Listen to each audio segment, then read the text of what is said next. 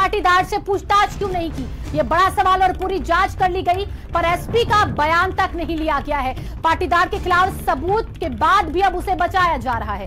तथ्यों के साथ पोल खुली तो पाटीदार फरार हो गया। पाटीदार का फ़ोन बंद है, लोकेशन तक उसकी नहीं पता चल पाई। एसआईटी रिपोर्ट में पाटीदार को बचाया गया है। एसआईटी को क्या पाटीदार से डर लगता है, ये भी सवाल है, क्योंकि जिस तरीके से एक तरफा जाँच रिपोर्ट सामने आई है, उससे ये सवाल भी बनता है। पाटीदार से पूछताछ के बगैर आखिरकार रिपोर्ट क्यों सौंप दी गई। पाटीदार की पलटन खुलकर सामने आती दिख रही है अब, और सबसे बड़े आरोपी से पूछताछ तक नहीं की गई है। एसआईटी ने जाँच रिपोर्ट मीडिया में लीक क्यों कराई? ये भी सवाल, और इसके बाद पुलिस को भी नहीं पता है कि पाटीदार कहाँ है।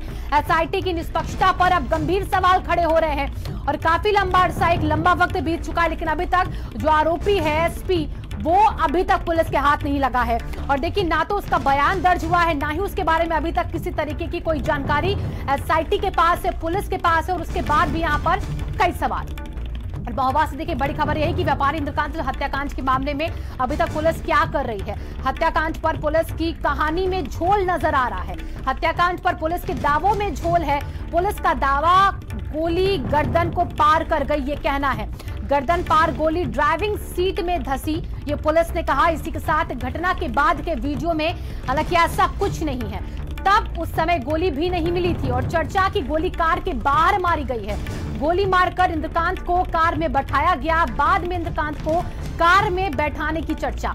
अभी तक यहाँ पर जो पाटीदार है, उसके बारे में किसी तरीके की कोई जानकारी नहीं है। एडीजी ने हालाँकि देखिए, प्रेस कॉन्फ्रेंस की तो इस बात को कहा था कि ये गोली खुद मारी गई है, पास से मारी गई है। अभी तक पाटीदार से पूछताछ नहीं हुई है। ये एडीजी ने खुद कहा था। पाटीदार कहाँ है, ये भी नहीं पता। इस बात का भी ज़िक्र एडीजी ने किया है। पाटीदार की कोई लोकेशन तक नहीं है पुलिस के पास।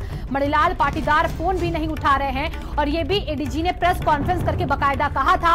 और इस पूरे मामले में कल ही देखिए एडीजी की तरफ़ से प्रेस कॉन्फ्रेंस करके जानकारी दी गई है।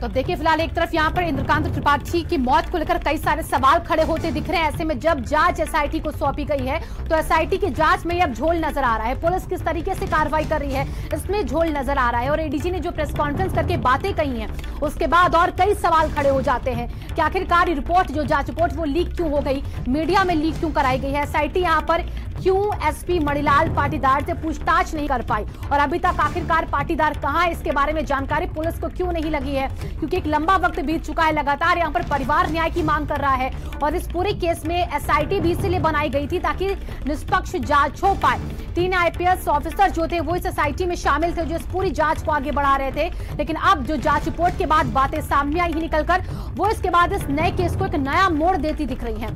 यहाँ पर मर्डर को सुसाइड बना दिया गया है। हालाँकि कई अहम सबूत हैं पास, लेकिन पुलिस उसके बाद भी इस पूरे केस को सुसाइड बता रही है। आरोप देखिए, ये लगे थे कि यहाँ पर जो मर्डर हुआ है, व्यापारी का वो गाड़ी के बाहर हुआ था, बाद में उसको अंदर बैठाया गया। अभी उनके द्वारा एक कोरोना से पीड़ित होने की रिपोर्ट उनके एडवोकेट द्वारा भेजी गई है। तो वो अपने आप को अभी कोरोना पॉजिटिव बता रहे हैं। इस प्रकार से उनसे अभी तक वो टर्न अप नहीं हुए हैं। उन्हें बुलाया गया है। उनसे कांटेक्ट करने के लिए पीजी हेडक्वार्टर से भी संपर्क किया गया है, लेकिन उनके द्वारा ना फ़ोन उठाया जा रहा है और ना ही उनका अभी तक लोकेशन मिला है। हमारे साथ विक्रम सिंह जी, जो कि पूर्व डीजीपी रह चुके हैं, वो जुड़ चुके हैं भारत समाचार के साथ। विक्रम जी बहुत बहुत स्वागत आपका, लेकिन इस वक्त देखिए, जो एक खबर हम दिखा रहे हैं, इसमें एसआईटी की जाँच शक के घेरे में आकर खड़ी हो गई है। क्यों एसआईटी यहाँ पर एक पक्ष को देख ही नहीं रही है? वो आरोपियों से पूछताछ नहीं कर रही। क्या ये संभव है? बिना पूछताछ के आप रिपोर्ट सामने ला देते हैं। नहीं, कोई भी जाँच तब तक पूरी होती है जब तक आरोपियों से पूरी तरीके से छानबीन और उनके तक, जो तथ्य प्रस्तुत किए गए हैं समिति के सामने उनका सत्यापन न किया जाए। एक तरफा जाँच जाँच नहीं कही जाती है। दूसरी चीज़ जो तथ्य ये है कि अगर आत्महत्या है तो पोस्टमार्टम क्या प्रमाणित करती है कि यह आत्महत्या स्कॉर्चिंग सिंजिंग और जो जलता है वो पोर्शन अगर आदमी अपने आप को अग्नि अस्त्र से मारता है तो उसके बिल्कुल स्पष्ट संकेत मिल जाते हैं कि हथियार सटा के मारा गया है। कोई सुसाइड नोट लेकिन जो सुसाइड नोट या जिसको मैं डाइंग डिक्लेरेशन का कथन मानता हूँ उसमें स्पष्ट किया था कि तत्कालीन एसएसपी के शोषण के माध्यम से वो अपनी हत्या या अपनी मौत को संभावित मान रहा था। बहरहाल हत्या हो आत्महत्या हो मैं इसकी टिप्पणी बाद में करूँगा लेकिन अगर इसने आत्महत्या भी की है तो पाटीदार साहब अपनी ज़िम्मेदारी से हाथ नहीं धो सकते हैं जो उनका अपकृत्य किया है। अब आप कहते हैं कोरोना से किया कोरोना से कितने लोगों ने किया है? ऐसा नहीं कैसे लेकिन जो पाटीदार साहब ने अपकृत्य किया है और मरने से पहले जो वीडियो स्टेटमेंट आया था मृतक का वो पर्याप्त साक्ष्य है पाटीदार साहब को सलाह के पीछे ले जाने के लिए। हम्म। बिल्कुल विक्रम सिंह जी और देखिए आप भी कह रहे हैं जो वीडियो हमने भी दिखाया दर्शकों को और इस वीडियो में साफ़ पता चल रहा है कि किस तरीके से एसपी जो है वो परेशान करता था इस व्यापारी को लेकिन उसके बाद अभी तक पुलिस उस एसपी तक ही नहीं पहुँच पाई है। क्या इतनी लेट लतीफी इस केस में ये संभव है? क्या जानबूझ के नहीं हो रहा है? सवाल उठेगा फिर? मेरी समझ में नहीं आ रहा मैं तो स्तब्ध हूँ इस तरीके के। हमारे टाइम में होता आरोप लगा और आदमी पहले सस्पेंड हुआ। आरोप हम्म। लग जाता था। प्रमाणिक जाँच होती नहीं थी इन सब चीज़ों की। हम्म। जांचें नहीं होती थी। हम्म। आपके ऊपर आरोप लगा पहले आप हो सस्पेंड और डिसमिसल बाद में आप जाइए सुप्रीम कोर्ट से जीत के आइएगा दस साल बाद। लेकिन फ़िलहाल जो प्रसाद मिलेगा डीजी दफ्तर से पहले डिसमिसल होगा पाटीदार साहब आपका। तो आईपीएस में आए हैं सेवा के लिए लूटने के लिए हत्या करने के लिए नहीं आए हैं। बिल्कुल। विक्रम सिंह जी देखिए जब यहाँ पर उस एसआईटी पर ही सवाल खड़े हो जाएँगे तो कैसे हम समझ ले कि जाँच रिपोर्ट सही है? क्योंकि तथ्य देखिए पूरे थे कि मर्डर है। उसके बाद ये भी अब सवाल उठ जाते हैं कि यहाँ पर सबूतों से छेड़छाड़ हो सकती है। तो क्या हम ये माने कि अगर एसआईटी कुछ भी कहेगी तो वह सच नहीं हो सकता है?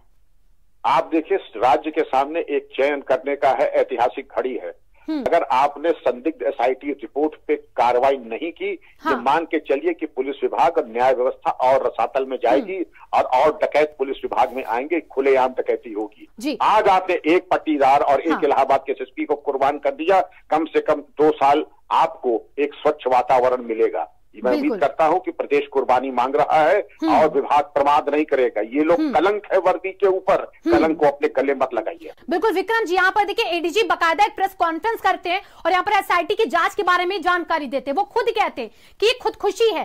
क्या एडीजी का ये बयान वाकई में सही है? क्या उन्हें इस तरीके के बयान देने से पहले सोचना नहीं चाहिए? पूछताछ नहीं करनी चाहिए जब कई सारे सवाल खड़े हो रहे हो अगर?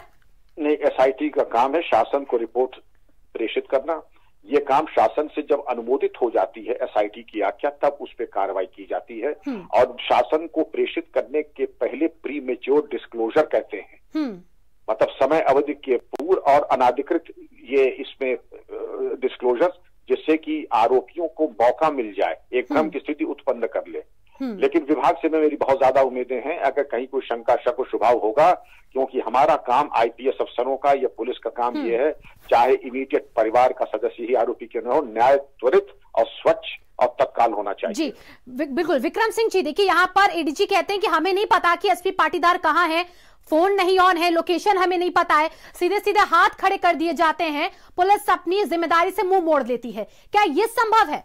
नहीं तो ये बता दें पट्टीदार साहब का घर उनका पैतृक स्थान उनके दोस्त अहबाब अगर पुलिस एक आईपीएस अफसर का नहीं पता लगा सकती है हम्म। हम लोगों की आंत में से निकाल करके ले आते हैं न काठमांडू और सिंगापुर से ले आते हैं। कोलकाता में इनकाउंटर करते हैं यहाँ आईपीएस अफसर का ही पता नहीं लग रहा है।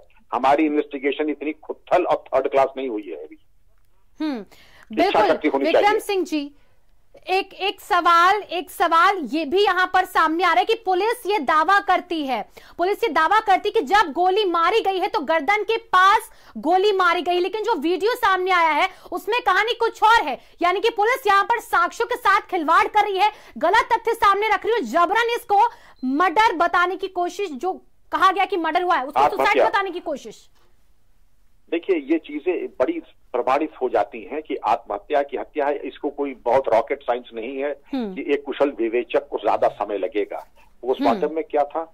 जब उसने ये घटना हुई थी कौन कौन लोग थे? हम्म। कोई प्रत्यक्षदर्शी था नहीं था। और इसके अलावा पट्टीदार साहब का भूमिगत हो जाना आईपीएस अफसर का भूमिगत होना है शर्म नहीं आती इनको। अगर इन्होंने कुछ कहा तो जाके डीजी के सामने पेश होते कि साहब ये बताया और मैं हाजिर हूँ। और तफ्तीश और विवेचना से मैं सम्मिलित हो रहा हूँ सहयोग कर रहा हूँ। विवेचना हम्म। से असहयोग करना भी इसी पे इनका डिसमिसल हो जाना चाहिए। बिल्कुल। विक्रम सिंह जी लेकिन क्या देखिए पुलिस को झूठ बोलने में डर नहीं लगता है? देखिए घटना के बाद का जो वीडियो था उसमें ऐसा कुछ नहीं था कि उस समय गोली कार के अंदर मारी गई हो बल्कि ये दिखाया गया था कि गोली कार के बाहर मारी गई। फिर बाद में कैसे चालाकी के साथ पुलिस कह देती है कि गोली तो कार के अंदर लगी है पास से लगी है गर्दन के पास से होकर तो गुजरी है। सीट तो में धसी है। तो झूठ बोलते वक्त क्या पुलिस वाले खौफ में नहीं होते कि उन पर भी जाँच हो सकती है? सुनिए सुनिए सुनिए। ये हथियार कहाँ था? हथियार मिल गया जिससे अगर आत्महत्या थी तो हथियार मिल गया है। हथियार पे छाप अंगुष्ठ किसके हैं? और छाप अंगुष्ठ अगर नहीं उठाए तो क्यों नहीं उठाए?